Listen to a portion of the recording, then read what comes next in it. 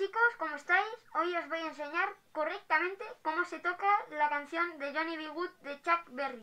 Primero, el Charles o el High o el Right tiene que ser siempre la escritura de Swing, ¿vale? Que es negra, tresillo, sin la del medio.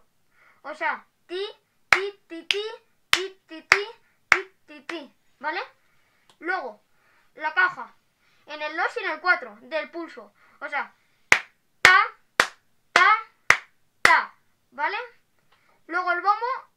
pulsos, o sea, pum, pum, pum, pum, pum, pum.